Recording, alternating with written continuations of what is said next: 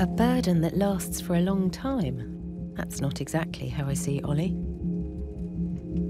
But legally, you can terminate a Down's pregnancy right up to birth, as Down syndrome is classed as a severe disability. And if you look at the leaflets the NHS hand out to mothers when they get the diagnosis, it does sound severe.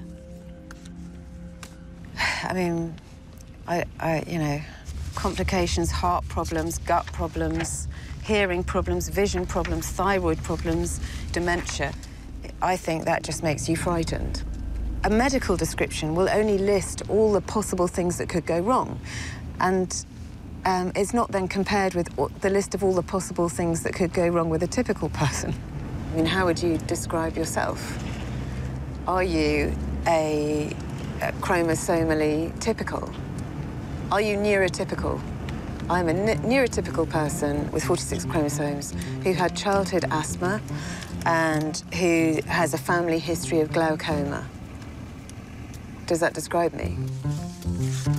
To me, Down syndrome is much more than a list of possible health problems. But that's because I know Olly.